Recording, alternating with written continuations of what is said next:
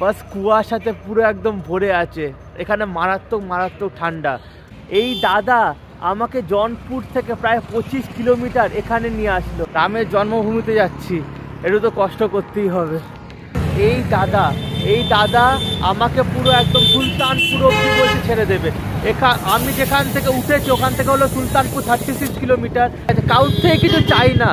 ভগবানই আমাকে পাঠিয়ে দেয়। যে একে হেল্প করে দেয় ওকে হেল্প করে দে ঠিক আছে এখন যাচ্ছি একটু কিছু খাবো সকাল থেকে কিচ্ছু খাইনি আজকের দিনে আমি সব থেকে বড় লিফট পেয়েছি ঠিক আছে আমি চাইনি ভাইয়া मैंने आपसे मांगा था नहीं मांगा था ना সো গাইজ ফাইনালি পৌঁছে গেছি अयोध्या धाम ओ जन्म जन्म की खोज बताए राम से चल के राम पे आए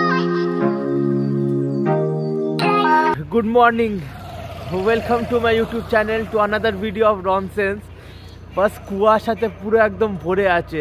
এখানে মারাত্মক মারাত্মক ঠান্ডা। তো এখন আমি যেখানে ছিলাম, ওটা হলো এই যে হসপিটালটা ঠিক আছে? এখন আমি বেরিয়ে এগিয়ে চলছে হলো অযোধ্যার দিকে, ঠিক আছে? গিয়ে তোমাদের সাথে দেখা হচ্ছে। বাস দেখো, রাস্তায় কিছুই দেখা যাচ্ছে না। এই যে ভাইকে যে দেখছো এ হলো নীরাজ যাদবজি হ্যাঁ এই দাদা আমাকে जौनपुर থেকে প্রায় পঁচিশ কিলোমিটার এখানে নিয়ে আসলো এই জায়গাটা নাম क्या है बदलापुर बदलापुर बदलापुर নিয়ে আসলো আর এই রাস্তা এই রাস্তা আপনাকে যাতে হয় না অযোধ্যা কে লিয়ে এই রাস্তা ধরে এখন আমরা যাব এখানে এত কুয়াশা এত কুয়া তোমাকে কি বলবো बहुत अच्छा लगा आपसे मुलाकात करके ठीक है अब अपना ख्याल रखना और कोलकाता ज़रूर आना अगर समय मिले तो ठीक है বাই বাই। আর আমার অযোধ্যার জন্য প্রায় একশো পঁচিশ কিলোমিটার বাকি আছে, ঠিক আছে? দাদা তো অনেকটা আমাকে হেল্প করে দিল। এবার আমি এরকমভাবে হেঁটে যাচ্ছি। দেখি আগে যদি কেউ নিয়ে যায় তো ভালো, নাহলে আমি এরকমভাবে হেঁটে হাঁটতে থাকব। ওকে? দেখো কি অবস্থা। এইবার তোমাদেরকে আমি একটা কথা বলি। এখন আমি উঠে গেছি হাইওয়ের ওপরে। যে সিটির ওপর দিয়ে যখন যাচ্ছিলাম না সিটির ওপর দিয়ে। মানে বদলাপুরের। মানুষজন আসেই না হেল্পের জন্য, আর আমি চাইও নি। এখন উঠে পড়েছি হাইওয়েতে দেখি যদি কেউ নিয়ে যায়, নাহলে আমি হেঁটেই যাব। আমার তো কোনো প্রবলেম নেই। রামের জন্মভূমিতে যাচ্ছি একটু তো কষ্ট করতেই হবে। আমি তো এনএইচ থার্টি ওয়ান ধরে হেঁটেই চলছিলাম, কিছু পাচ্ছিলাম না, ঠিক আছে? তারপরে এই দাদা এই দাদা আমাকে পুরো একদম সুলতানপুর অব্দি বলছে ছেড়ে দেবে এখা আমি যেখান থেকে উঠেছি ওখান থেকে হলো সুলতানপুর থার্টি সিক্স কিলোমিটার আর এই দাদা আমাকে পুরো সুলতানপুর অব্দি ছেড়ে দিচ্ছে ভাই आपका थोड़ा नाम बताइए बहुत अच्छा लगा आपसे मुलाकात करके ठीक है अभी हम लोग और कितना किलोमीटर बचा है दो तीन किलोमीटर আচ্ছা আচ্ছা ঠিক আছে চলতে আর এখান থেকে অযোধ্যা প্রায় রয়ে গেছিল ষাট সিক্সটি কিলোমিটার এখন আমি দাঁড়িয়ে আছি হলো সুলতানপুরে একটু রেস্ট নেব, তারপর আবার হাঁটা শুরু করব। ঠিক আছে? কাউর থেকে কিছু চাই না। ভগবানই আমাকে পাঠিয়ে দেয়। যে একে হেল্প করে দে ওকে হেল্প করে দেয় ঠিক আছে? এখন যাচ্ছি, একটু কিছু খাব। সকাল থেকে কিচ্ছু খাইনি। খেয়ে দিয়ে আবার জার্নিটা স্টার্ট করব। সো গাইস এখান থেকে আর অযোধ্যা বাকি হলো ফিফটি কিলোমিটার তোমরা দেখতেই পাচ্ছ। ঠিক আছে? যাই সামনে হেঁটে হেঁটে। আজকে অনেকটা হেঁটেছিও আর ভগবান অনেকজনকে পাঠিয়েছিল আমার জন্য। অনেক কেউ লিফট দিয়েছে। একটা ছেলে তো পুরো থার্টি সিক্স কিলোমিটার অবধি আগে ছেড়ে দিয়েছে। কিন্তু কাউর থেকে চাওয়া না। ওরা আসে, বলে, আমি তারপরেই যাই। না, কাউর থেকে চাইব না জীবন। ঠিক আছে, এই রাস্তা ধরে আমার যাচ্ছি অযোধ্যা। আজকের দিনে আমি সব থেকে বড় লিফট পেয়েছি। ঠিক আছে, আমি চাইনি। ভাইয়া মানে আপনার মাঙ্গা থা নেই মাঙ্গা থা না। दादा देखे थे आपने वो बस देखा, मैं जा रहा हूँ करके, आपने बुलाया कि चलते करके।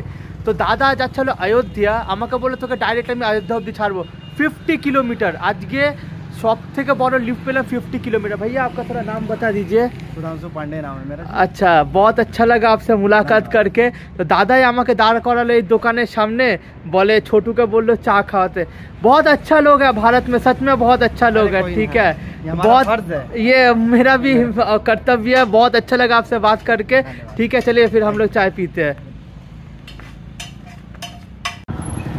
সো গাইজ ফাইনালি পৌঁছে গেছি অযোধ্যা ধাম, আমার পেছনে যেটা দেখছ, ওটাই এখনও হচ্ছে রাম মন্দির, জাস্ট দেখো। দাদা, এত ভালো, আমাকে পুরো একদম লাস্ট অব্দি ছেড়ে দিল। প্রায় ফিফটি কিলোমিটার মতো ঠিক আছে? এখন দেখতে হবে কোথায় রাতটা কাটাবো, পরে এসে দর্শন বগেরা করব।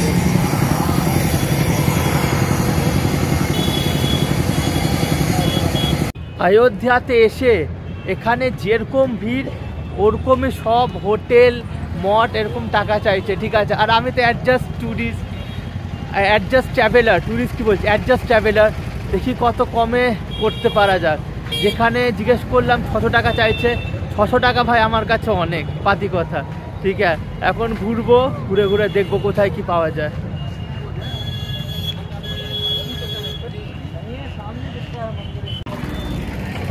ফাইনালি অযোধ্যাতে এসে একটা তোমার আশ্রম পেয়েছি, যেখানে আমার থেকে অনেক কম চার্জ করছে ঠিক আছে?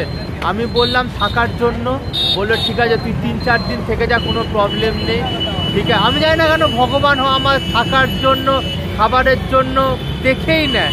যখন তুমি সারেন্ডার করো না, সব কিছু ওই দেখে। তো তোমাদেরকে গিয়ে দেখাচ্ছি। সন্ধেবেলা বেরিয়েছি তোমাদের রাম জন্মভূমিটা দেখাতে।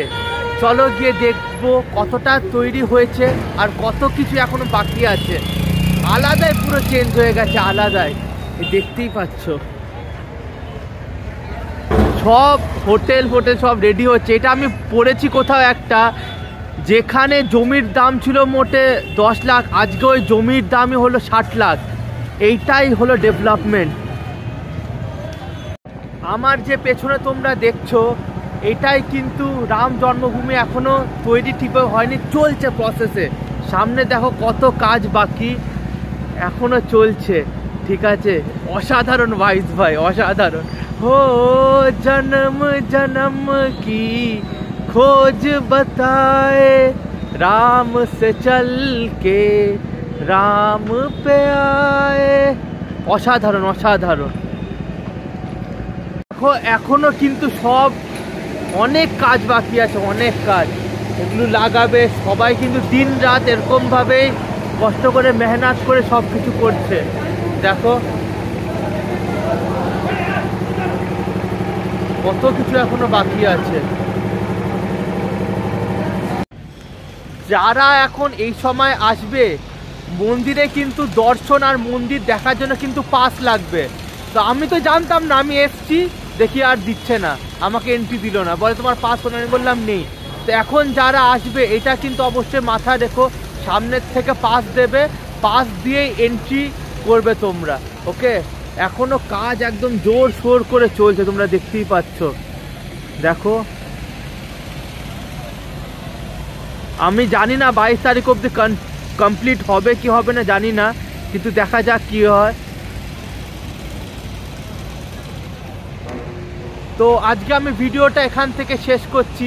ঠিক আছে, কালকে তোমাদের জন্য লাইভ একদম আপডেট দিতে থাকব যে কত অবধি এগোলো, কী কী, কে কে আসলো, কী কী বাকি রইল। ঠিক আছে, গিয়ে কালকে তোমাদের সাথে দেখা হচ্ছে।